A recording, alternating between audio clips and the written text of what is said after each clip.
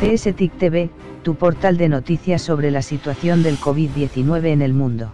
A continuación, nuestros titulares.